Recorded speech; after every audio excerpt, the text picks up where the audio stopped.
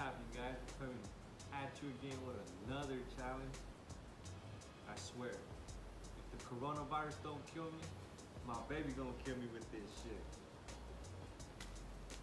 We're gonna do the Samyang hot chicken flavor ramen noodles. This is what. So it's like a sopa huevona two times spicy. I've never had this before. She's had it once.